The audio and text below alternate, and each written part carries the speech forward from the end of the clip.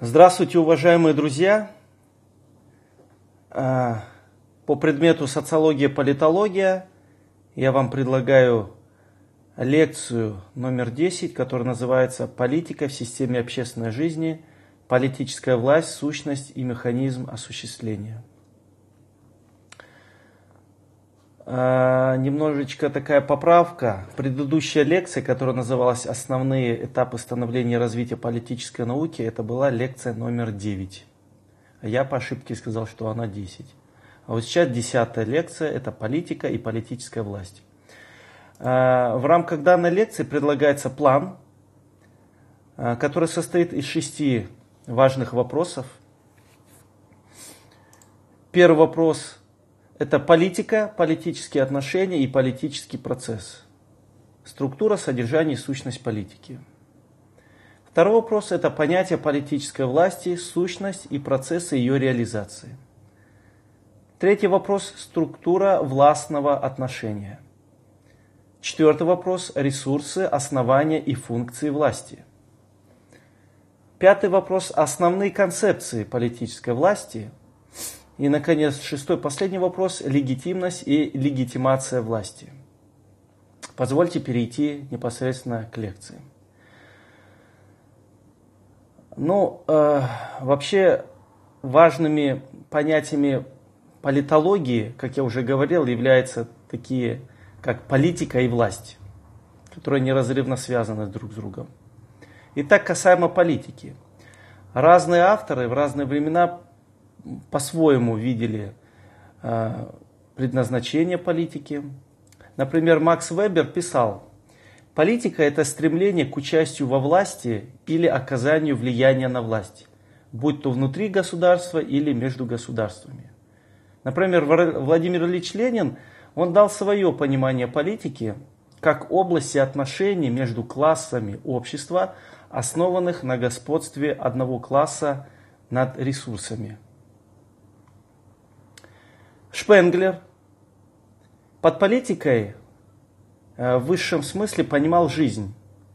Другой исследователь Бирс политику ассоциировал как борьбу интересов, маскирующихся под, а, под борьбу принципов во имя личной выгоды. Поэтому мы видим разнообразные трактовки политики. Да? Э, в политологии выделяют три основные группы определений политики – Первое – это социологические. Они характеризуют политику через другие общественные явления, такие как экономику, право, мораль, культуру. Второе – это субстанциональные, ориентирующиеся на раскрытие первоосновы политики. И третье – это научно сконструированные, которые раскрывают ее деятельностный характер. Вообще политика – это слово греческого происхождения и означает государственные дела. А в целом, э, в современном понимании, политика это действия, прежде всего, направленные на власть, ее обретение, удержание и использование. Вот. Суть политики, в принципе, это подавление сильными слабых. Ну и каковы же характерные черты политики? Первое – это властный характер, то есть способность принуждать. Второе – это связь частного и общего, интереса личности и интереса социальной целостности. Э, третье э, – политика, она прежде всего связана с э, решением проблем существования и функционирования государства, как социального института. И четвертое – связь с действиями и интересами больших масс людей. Вот. В политологии также есть такое понятие, как субъекты политики. К субъектам политики это относятся индивиды, социальные группы, слои, организации, участвующие в процессе реализации государственной власти. Иногда еще есть такое понятие объект и субъект. Субъект это носитель политики, а объект это на кого направлено воздействие политики. Например, правитель это может быть субъект, а народ это объект. Вот. Ну и последнее в этом вопросе Э, политические отношения, что означает? Это отношение, распределение и использование государственной власти на основе политических интересов, а также целей, установок и ценностных ориентаций. Это политические отношения. Переходим ко второму вопросу. Понятие политической власти. Как я уже говорил, власть э, также центральное понятие в политологии. А, существует э, целый, э, целая наука о власти, которая называется кратология. С греческого кратус означает власть. А, ну, большинство, конечно, политологов сходятся во мнении о том, что власть присуща, в принципе, всем, всему человеческому сообществу. В принципе, это так и есть. Даже если посмотреть на глубокую историю, в обществе всегда были такие люди, э, которые ну, были устремлены командовать над кем-то, кого-то подчинять, проявлять свои какие-то лидерские качества и так далее. Что же такое политическая власть? Политическая власть – это способность проводить свою политику, а точнее проводить свою волю в политике и в правовых нормах, несмотря на сопротивление. Ну, теперь давайте вкратце рассмотрим процесс властвования. Вот в отношении власти выделяет два аспекта. Это конфликтный и целевой. Ну, конфликтный аспект, он подразумевает, ассоциируется, э, точнее, с такими явлениями, как принуждение, насилие, диктат. Вот, это конфликтный аспект власти. То есть господство, подчинение по такой формуле происходит действие. Вот. А целевой же аспект, он обусловлен целостностью социальных общностей. То есть власть для всех. Имеется в виду эта способность выполнять определенные функции в пользу всей социальной системы. И вот, кстати, вот этот аспект, он э, вот в наше время, он широко применим, реализует себя. Так, ну и э, в завершении этого вопроса хочу сказать, что существует три аспекта политической власти. Первый это директивный, то есть власть понимается как господство. Приказ подчинения, о чем я говорил, да? Второй это функциональный. Здесь власть рассматривается как способность реализации функции общественного управления. И, наконец, коммуникативный аспект механизмы реализации власти осуществляются через общение, через определенный язык, который принят обеими сторонами властных отношений. Переходим к третьему вопросу. Структура властного отношения. А, как писал э, польский политолог Вятер, для возникновения власти необходимы следующие условия. Это наличие субъекта и объекта власти, то есть властвующего и подчиненного, да? Далее это приказ, подчинение, а также нормы и правила, в рамках которых действуют властвующие и подчиненные. Вот. Поэтому власть это, можно сказать, это двусторонние отношения, включающие как объект, так и субъект. А власть, субъект власти может быть как индивидуальным, так и коллективным. Вот. Далее. Властное отношение возникает лишь только тогда, когда приказ встречает подчинение. Вот. Но причины подчинения вот, властным приказам, они многообразны. Это же может быть страх перед санкциями, привычка, э, традиция, авторитет власти, убеждения, рационально понятый интерес и так далее.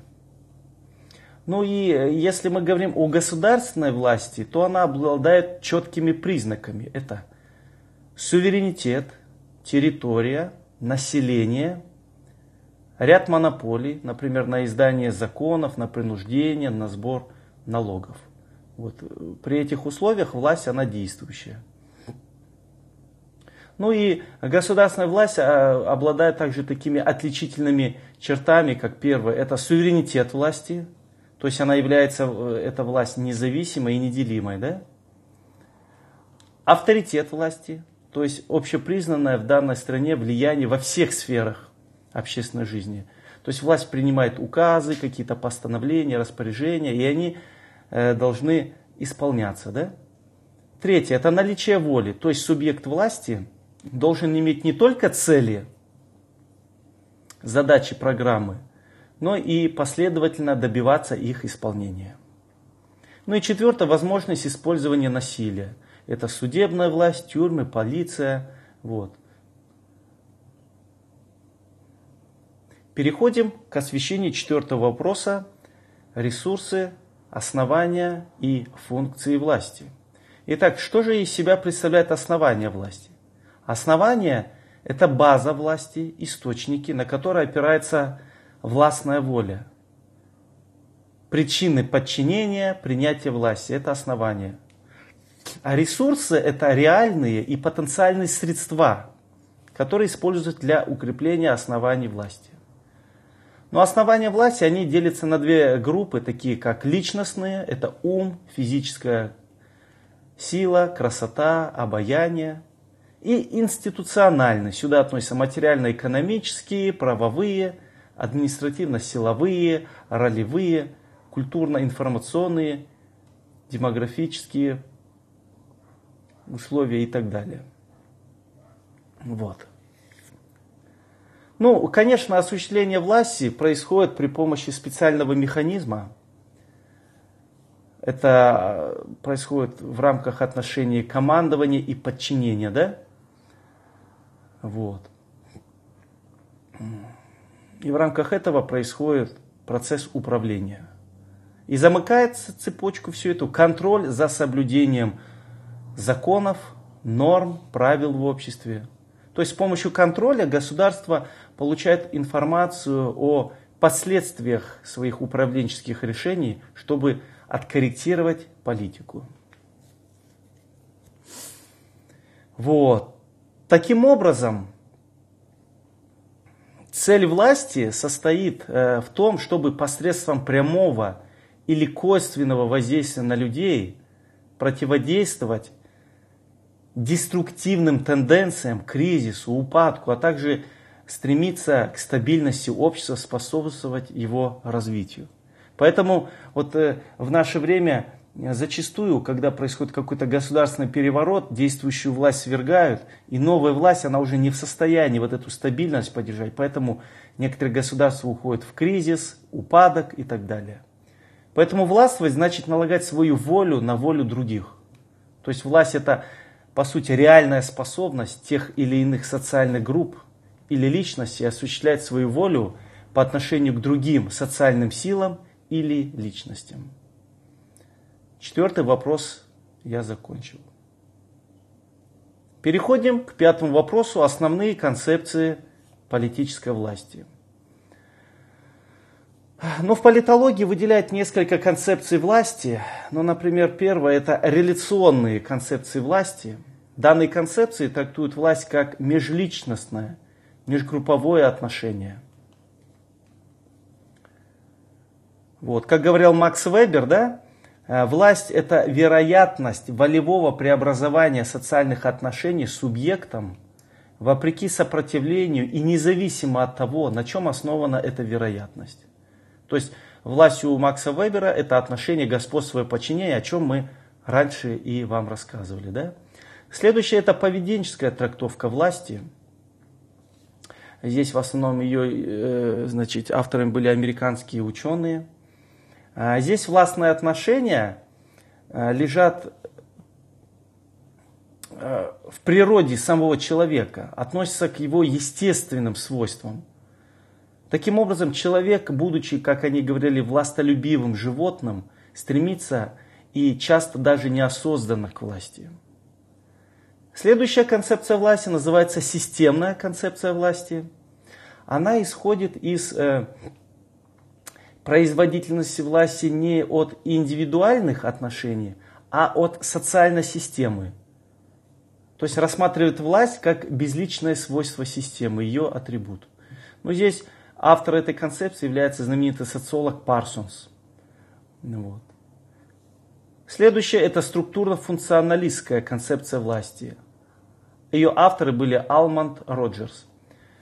Эта концепция рассматривает э, власть как способ самоорганизации человеческой общности, основанной на целесообразности разделения функций управления и исполнения. Вот. Еще один э, подход к власти – это коммуни, коммуникативный подход. Вот. Э, власть здесь рассматривается не, толь, э, не столько как способность действовать самому, сколько воздействовать с другими людьми. Вот. Это были авторы Гиденс, Фуко, Хабермас и другие. Ну и марксистская теория, мы о ней уже частично упоминали, да? Феномен власти здесь рассматривается через призму классовой борьбы. Власть выступает как организованное насилие одного класса для подавления другого. Вот. Ну, также можно в завершении упомянуть э, психоанализ власти, да? Э, психоанализ власти, он показывает генезис властных отношений в связи с особыми установками человеческой психики в ее бессознательных аспектах. Ну, здесь, конечно, связано с учением Зигмунда Фрейда данная концепция. Ну и, наконец, переходим э, к последнему вопросу нашей лекции, который называется «Легитимность и легитимация власти». Очень часто вы этот термин слышите с экранов телевидения, но, возможно, не совсем понимаете. Вообще этот термин, он возник э, в XIX веке во Франции и означал законно установленную власть в отличие от насильственно захваченной. То есть вот зачастую бывает такое, да, что какие-то происходят выборы в стране, но они подтасованы, поэтому некоторые страны говорят, мы не, не признаем выборы, данная власть нелегитимна, либо какие-то силы могут прийти к власти в ходе революции, да? Поэтому тоже отдельные страны говорят, это нелегитимная власть. Вот. А легитимность также означает форму поддержки и оправдания власти. Это определенный исторически сложившийся порядок достижения согласия между властными структурами и обществом. Поэтому легитимность власти – это юридическое бытие власти. Э, легитимность – это также доверие и оправдание власти, утверждение правомерности существования данных социальных и политических институтов, признание справедливости, интересов и целей, воздвигаемых ими. То есть это политическое признание законности правления. Да? Ну, конечно, знаменитым исследователем этого феномена был Макс Вебер. Вот. Ну и здесь э, Вебер выделял несколько типов легитимности. Традиционная, харизматическая, легальная и так далее. Э, таким образом, мы с вами сегодня выявили вопросы политики, что она себя представляет, структура политики, что такое политическая власть, ее сущности, механизмы осуществления. Ну и в завершение лекции позвольте я озвучу вопросы для закрепления. Итак, первый вопрос. Что означает понятие политики с научной точки зрения? И в чем состоят ее характерные черты? Каковы основные функции политики? Второй вопрос. Что такое политическая власть? Чем состоят особенности ее реализации? Третий вопрос. Охарактеризуйте структуру властного отношения. Третий вопрос был. Четвертый. Что в политологии относят к ресурсам власти? И каковы основные функции власти? Пятый вопрос. Дайте характеристику основным концепциям политической власти. Ну и завершающий шестой вопрос, что такое легитимность? И каковы пути осуществления легитимации власти? Лекция закончена. Спасибо за внимание.